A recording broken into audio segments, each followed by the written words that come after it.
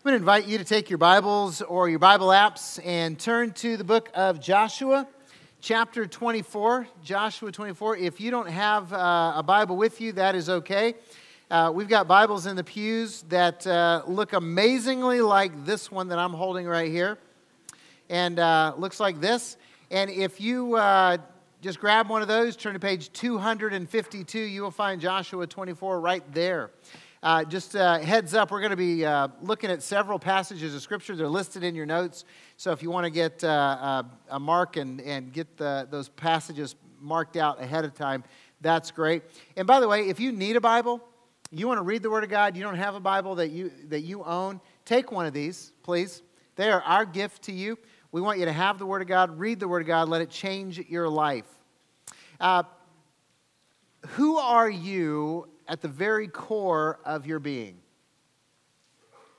When you strip away all the titles, all the positions, all the roles that we play, what's left? When it's just you and God, who are you? Uh, this morning, we're continuing our series called The Core, and today I want to talk about our DNA as a church and, and what I hope is your DNA as a follower of Jesus. Uh, we're not going to deal with core values or essential doctrines today, but who are we when everything is stripped away? Because I submit to you that what we are when everything is stripped away is we are servants of Christ. It's our identity at the very core of our being. Uh, in Joshua chapter 24, here's the setting. The people of God were in the promised land. They. Uh, remember the story is this they were in Egypt in slavery. Moses led them out of Egypt, out of slavery. They came to the edge of the promised land. They rebelled against God. And so God had them wander in the wilderness for 40 years until the faithless generation was gone. Even Moses died in the wilderness. And Joshua took over and he led the people of God into the promised land and they conquered the promised land. So he was there now. They've, they've settled in the promised land. They're in their place. And he comes to the end of his life and he challenges the people of God with these words Joshua 24, beginning in verse 14, he says, Now therefore, fear the Lord and serve him in sincerity and in faithfulness. Put away the gods that your fathers served beyond the river and in Egypt, and serve the Lord. And if it is evil in your eyes to serve the Lord, then choose this day whom you will serve whether the gods your fathers served in the region beyond the river or the gods of the Amorites in whose land you dwell. But as for me and my house, we will serve the Lord. We will serve the Lord. Joshua says, choose whom you will serve. Notice he doesn't say decide what church you're going to go to or decide what cause you're going to contribute towards. He says, choose which God you are going to serve. Now, if you're a follower of Jesus Christ, I believe you've already made that choice. Because uh, if you believe that Jesus is the Son of God, the Savior of the world, if you believe that He died on the cross to pay for your sins, and that He was raised from the dead, and you've made a commitment to follow Jesus with your life, then you've already decided which God you're going to serve, and you are servants of Christ. It is at the core of our identity. Think about this. Um, you know, Scripture says if you confess with your mouth Jesus is Lord and you believe in your heart that God raised him from the dead, you'll be saved. So if you confess Jesus as Lord, what does that mean? It means that you're saying, Jesus, you're my master, you're my king, you're my authority in life. That's what it means to be a follower of Christ. So let me ask you this if Jesus is our master, then what are we? Servants. We are servants of Christ. And, and so I want to ask you a question that kind of frames everything else that we're talking about, and really I kind of hope haunts you throughout the week. And it's this if you're a servant of Christ, are you living as a faithful servant? Are you living as a faithful servant? See, we are servants of Christ, and as servants, we serve because Jesus served. You know, if we understand our identity as servants of Christ, then this is our motive. We serve because Jesus served. Um, if you really want to live as servants of Christ, then you have to understand the why. At least I believe that you really need to know the why if you're going to take hold of the motive, and, and it's going to be part of the core identity that we have. And, and I was one of those kids growing up that when I asked my parents something and they said, because I said so, I hated it. Anybody else with me on that? Just hated it. Parents, don't use that. That is so lazy. Give them a reason. You know, because as a kid, I was just like, okay, one day I'm going to overthrow this regime because that's not a good enough answer right? And, and I know there's people in this world who do stuff because somebody said so, but the truth is, when it gets difficult, they abandon that. It's not a life changing motive. We need to know the why. And, and, and I can tell you we serve because Jesus served, but let me explain that. Let me give you two reasons why we serve because Jesus served. First of all, because Jesus set the example, the example of Jesus. Uh, John chapter 13, the Gospel of John. If you're using a Bible like mine, it's page 1145. Um, that's the easy way to get there. John 13, uh, again, let me give you the setting. This is the Last Supper of Jesus. You know, this is the night that he's betrayed. This is the day before, the night before he's crucified. So he's coming to the end of things. And he gets his disciples together to celebrate the Passover. And, and while he's there, of course, he institutes the Lord's Supper, what we call communion, reminds us that, uh, uh of his death and resurrection. But John records that he does something else in addition to that that he gets up from where he's seated and he, and he puts on the servant's garments and, and he gets down on his hands and knees and he washes his disciples' feet. He serves them. Knowing that he's going to die in a few hours, knowing that, that they're all going to abandon him, one of them's going to betray him, and he washes their feet. And, and, and at the end of that, pick up in verse 12, where he begins to talk to them after this event. It says, When Jesus had washed their feet and put on his outer garments and resumed his place, he said to them, Do you understand what I have done to you? You call me teacher and Lord, and you are right, for so I am.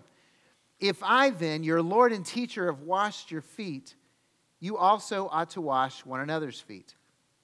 For I have given you an example that you should do just as I have done to you.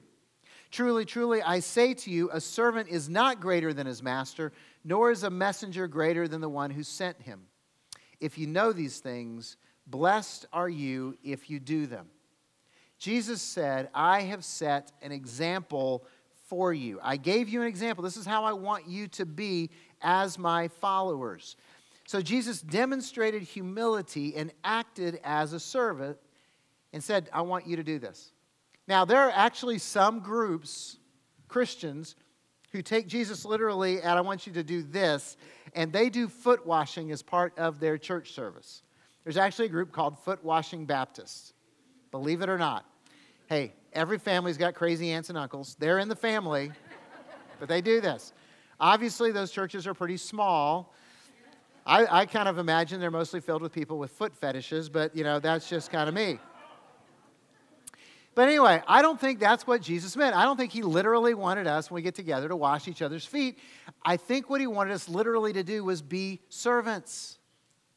To understand that we are to care for one another, that we are to value each other, that we are to serve each other with our lives. That that's the example he was setting. Now, there's a, an amazing subplot in this story. Uh, if, I hope you'll go home and read the whole story in John 13. But Jesus is going around washing the feet of the disciples, and he comes to Peter, and Peter is like, You're not going to wash my feet, Jesus. I get this. I'm the servant. I should wash your feet. You can't wash mine.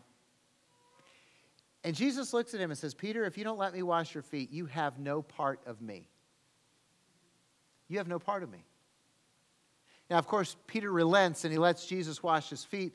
Uh, but, uh, but here's the thing sometimes our pride tells us that we don't need what Jesus offers. And we kind of say, Jesus, that's okay, I'll handle this, I'll do it on my own. And, and, and I don't want you to be mistaken. If you're trying to earn your salvation, if you're trying to be good enough, do good deeds, uh, uh, then you have no part of Jesus. You see, Jesus served us on the cross. He washed the disciples' feet and said, Look, I'm serving you. But then he went to the cross and he washed our sins away with his blood. That's what he was doing. He paid a debt that you and I cannot pay ourselves. We need Jesus to serve us if we're going to have any hope. And, but here's the thing we have to receive that gift that He's offering us to serve us, to wash our feet, to pay for our sins. And if you haven't received that gift, you have no part of Him. And, and Jesus is offering to serve you. Ha, have you allowed Him to serve you? And if so, then are you serving Jesus because He set the example for us? He said, This is what we do. This is what my family does for one another and for the world. So we serve because Jesus set the example. And secondly, we serve because it is the path to greatness. It is the path to greatness. I want you to turn back over a couple Gospels back to Matthew chapter 20, page 1049, if you got a Pew Bible. Uh, Matthew chapter 20. Again, uh, there's just a great backstory here. Uh, two of the disciples, James and John, wanted to ask Jesus a favor. They were kind of chicken, so they brought their mama with them. And, uh, and they let their mama do the talking. And she said, Jesus, can my boys be your number one and number two in your kingdom? Can, can you, they sit at your right and left hand. And Jesus kind of rebuked her and said, You know, that's not for me to decide. The Father's already decided who's going to get those seats. And uh, so, you know, I can't promise you anything. Well, the other disciples heard about this and they got mad, right? They were jealous. Hey, I want to be in that seat, not you. And, and so they're arguing amongst themselves about who's the greatest. And so Jesus gets them all together and he kind of tells them this Matthew 20, beginning in verse 25. But Jesus called them to him and said, You know that the rulers of the Gentiles lord it over them, and their great ones exercise authority over them. It shall not be so among you. But whoever would be great among you must be your servant. And whoever would be first among you must be your slave, even as the Son of Man came not to be served, but to serve and to give his life as a ransom for many. Wow. So let me ask you this Who in here wants to be successful in life? Yeah, most of the hands go up. I still can't figure out why everybody doesn't raise their hand. So let me just turn the question around. So who wants to be a failure? See, nobody ever, you know, raises their hand, you know, on that. You know, it's like, hey, I want to be a failure. I want to set really low expectations so I can reach them. Uh, it's really easy to meet that goal. No, we, we desire to be successful in life. And, and, it doesn't matter how you define success. I mean, maybe success for you is a great family. You want to have a happy marriage. You want to have great kids that you know care about you enough that when they grow up and move out, they come home to visit sometimes. You know, maybe you want to have you know a, a great job or build a great business, or, or, maybe you want to have houses and cars and toys, or, or maybe you just want to be you know rich and famous. Okay, I don't know. However you define success, here is what I know the path to success lies through serving. The path to greatness or success lies through serving. That's what Jesus said. And, and, let me just acknowledge this is a huge stumbling block for most of us. It, it really is. It, it gets in the way of us being followers of Christ because we see Jesus' example and we go, Amen. Look what Jesus did. That was awesome. And we hear Jesus' words and we nod our heads and go, Yep, that's what we should do. And then we walk out these doors and we try to be successful on our own terms.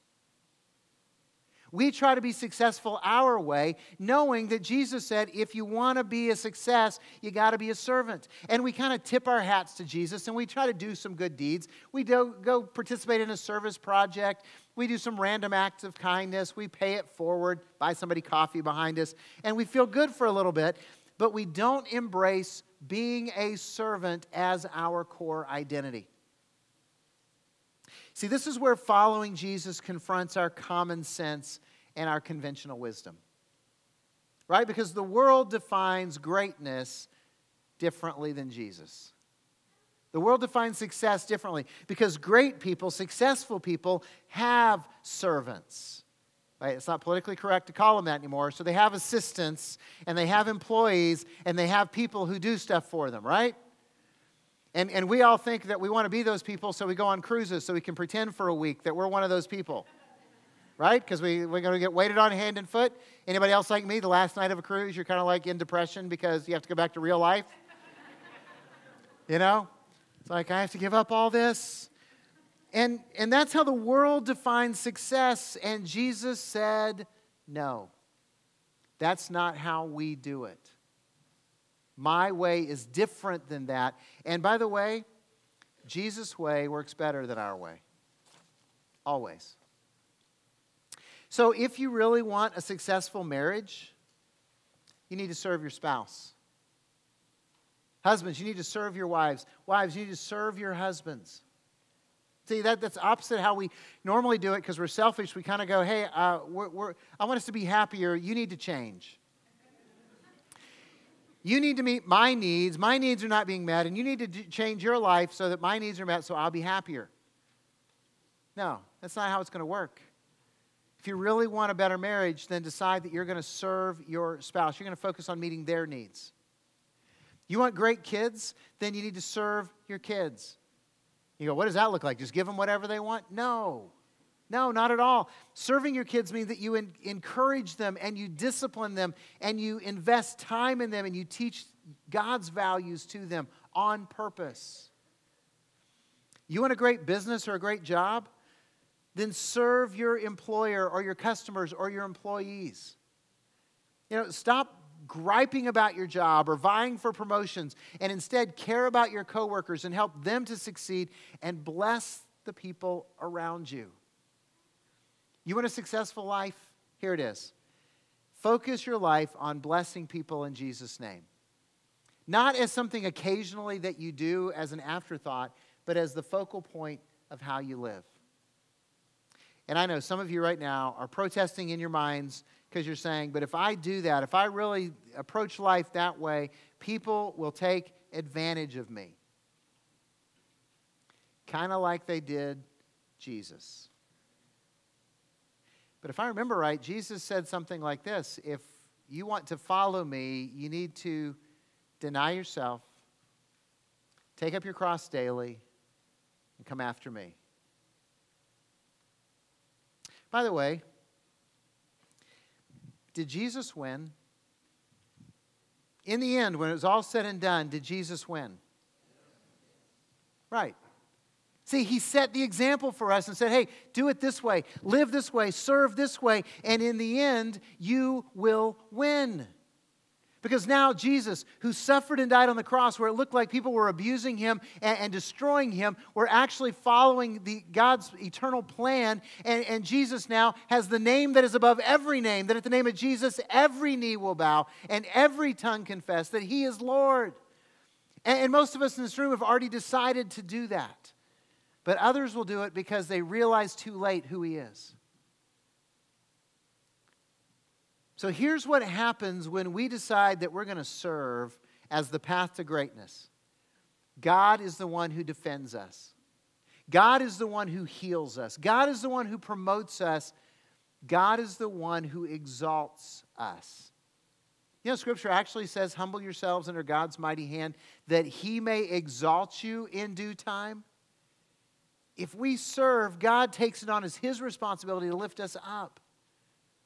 So let's just be real blunt about it. Honestly, who would you rather trust for a promotion, God or your idiot boss? I'm just asking my staff that question, okay? hey, truthfully, do you really think continuing in selfishness is going to heal your marriage or help your kids? You see, serving just means that we look after others as if they were just as important as us. The Apostle Paul in Philippians 2 put it this way Do nothing from selfish ambition or empty conceit, but rather with humility of mind consider others more important than yourself. Do not merely look after your own interests, but also the interests of others. So if you really want to be successful, serve. Serve. So, our identity, we are servants of Christ. Our motive, we serve because Jesus served. He set the example, and it is the path to greatness. And finally, We serve to influence our community for Christ.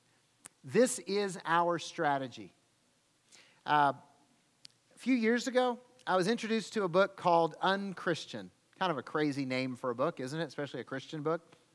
What some guys did is they did a bunch of research and they interviewed thousands of people who don't go to church at all, no church affiliation. And, uh, and he asked them all kinds of questions, but the, the one that stuck with me was this. He asked them, When you think of Christians, what words come to your mind and how would you describe them? Here, here's what I want you to do I want you to try to figure out what their top two responses were, but don't tell me, I want you to tell the person sitting next to you. Okay, top two responses. Ready, set, go. Okay, understand you're going to be graded on your answers, so think about this.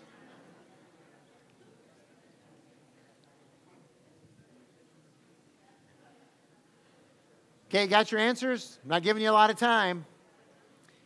Okay, trade papers, because if you grade your own, you'll cheat. Uh. Okay, so here's what they, here's what they thought. The, the top two responses unchurched people gave when asked what they thought of Christians. Number one, Christians are hypocrites. You guys all got that one right. Number two, what do you think? Judgmental. Judgmental. Not exactly what we were aiming for, is it? So, so here's the reality we have this mission to lead people to a life changing relationship with Jesus Christ. How are we going to lead people to Jesus when they just think that we're a bunch of judgmental hypocrites? That's the dilemma that we're facing. Here's the answer we're going to serve them. We're going to serve them. Uh, serving is the antidote to hypocrisy. Think about it. You know, it's putting your life where your mouth is. It's living what we say that we believe. It's following Jesus' example. Uh, serving means that we live and act differently than they expect. It surprises people, right? Because they're like that's you, you guys weren't what we expected. I, I bet some of you came here for the first time when a friend invited you to Calvary, and you're like, "This is not what I was expecting from church." See, it's, it, it's a surprise. And, and uh, in, in, fact, it, it happened again, uh, you know, down on Main Street this year. And by the way, there, we had like 200 volunteers last weekend that were serving here at Halloween Jam and down on Main Street. Thank you. You guys did an awesome job. Yeah. But but here's the crazy thing, and, and, it happens year after year after year down on Main Street on Friday night, is people come through and they play games with, you know, with uh, the Calvary people and all the game booths we have set up. We give them tons of candy, and, and people are going, why are you guys doing this? Because uh, everybody else is selling us something or trying to promote their business, and you guys are just down here loving on my kids and, and giving us candy, and um, you're supposed to be judgmental hypocrites. do, do you see how that confronts some of the, the perceptions in people's minds? And, so uh, we just smile and invite them to church and go, it'll be different than you expect too. See, it's, it's, it, it surprises people. And then serving eventually leads to us earning the right to be heard. Earning the right to be heard. At some point along the way, as we're serving people, they will invite us to speak truth into their lives. That, that's the process. That's what we do. We're going to serve. By the way, that's why we serve our community. That's why today we are launching a brand new ministry at Calvary called Serve. I know, it's so creative, isn't it? Came up with that myself. Serve, because we want to help all the servants of Christ find a way to bless other people in Jesus' name. Because we expect an influx of new people when we occupy Sweetwater and, and our new worship center, and we need help serving the people that are going to come. Because we want to expand our influence in Lake Havasu through serving in our community organizations and schools. And serve is going to help us accomplish this. This is our strategy. Now, if you've been a part of Calvary any length of time at all, you know that we're already a church that serves. For about 10, 12 years, we have intentionally been serving our community. You know, uh, Main Street is just part of that, partnering with Interagency, uh, with uh, all kinds of groups in town. We, we you know, do car shows, we uh, bless the schools, all that kind of stuff. And, and it's earned us a lot of respect in the community. That's awesome. But, but here's the thing I just confess to you that we've been doing that for 10 years without any organization or structure whatsoever. It's just all organic. We're kind of like, hey, that's a great idea. Let's go over here and do this. Hey, you guys want to come help us do that? Okay. And you guys just show up. It's awesome. But but here's the reality there's more and more of us all the time, and we want to have a greater impact, and we need to organize and, and create a ministry that allows us to unleash the power of our volunteers here at Calvary to make a difference, a life changing difference in Lake Havasu City. And so that's what we're trying to do. Uh, and, and here's just kind of a little bit of the vision that I see, what kind of God's showing me uh, a little bit. Let me share that with you, see if it doesn't resonate. Uh, I've mentioned before that we have about 40,000 unchurched people in Lake Havasu City. About 40,000 people who need to experience that life changing relationship with Jesus, who need hope for their marriages, reconciliation for their families, who need to be set free from their addictions, who, who need God's power in their life. They're, they're your friends and your neighbors. How are we going to reach 40,000 people? Okay, step one, we've talked about this. When we occupy Sweetwater, the new worship center, in the first six months we're there, we want to have 4,000 guests. 4,000 guests. How are we going to have 4,000 guests? Well, we're going to advertise like crazy, and we're counting on you guys to each bring three friends that don't go to church. Three friends. Three unchurched friends. That's all we're asking you to invite. You can invite more, that's all right. Uh, but here's the thing we want you to start working on that now. Start writing down names now. Start praying for them now. Because truth is, the first three people you invite probably won't say yes. Not all of them. You're going to have to invite more. And so you need a list longer than three names, I hope. Uh, so that's step number one 4,000. What, what happens after that? How are we going to reach the, the next 36,000 people to touch them with the gospel of Jesus Christ? I believe serve is a major component of that. Because here's what, here's what I want to see happen uh, I want to see us partner with organizations in the community. Organizations like Pregnancy Care and Haven House and Hospice and Interagency, and, and just send volunteers to go and serve our community through those great organizations. And while you're there, represent Jesus Christ in Calvary. Because you're going to be rubbing elbows with people who don't go to church and who don't know any Christians and who don't want to, they think, because we're a bunch of judgmental hypocrites, and you get approved prove to them differently and influence. And at some point along the way, you'll have an opportunity to invite them to come with you. I, I want to see us have a presence, not just once or twice a year, but every single week in every school in our community. I, I want to send them volunteers that can read to kids and, and tutor kids and help teachers any way they need so that we're present there, investing our lives in making our education better and being an influence for Christ in this community. I, I want to see us send out volunteers into our community in ministries that none of us have even imagined yet that, that will transform our community and unleash the power of God to change Lake Havasu City. That happens when we embrace this identity of being servants of Christ and live it out day in and day out, whether we do it in formal ways or in your day to day life. So I ask you, how will you serve? How will you serve? Uh, I'm going to ask you to two things this morning, two specific actions to take uh, for everyone who's part of Calvary. If you're a guest, uh, you can do this if you want to, but I'm not asking you to do it. If you're part of Calvary, the first thing is I'm going to ask you to fill out one of these serve volunteer information cards. I told you we've been doing all these events and stuff with no organization, and we want to create a database that tells us who we have in our congregation that, that wants to serve and how they want to serve so that we can plug you into needs that we have uh, on a regular basis. Because we're going to develop the community relationships and we're going to ask them for needs and we're going to share those with you so that you can plug in and make a difference. So, whether you want to serve one hour a year or 10 hours a week, fill this card out, drop it in the offering box, take it to the serve table, drop it by the church office, just get it back to us. If you don't remember how to use paper and pen because you are completely digital, great. The serve team Serve Team has a web, you go to our website, calvarylhc.com, and fill it out online. They would love that because that way they don't have to take your paper and put it online. You can do it for us. So, either way, fill it out. Do that for us because we want to be able to uh, help you plug into serving at Calvary and in our community.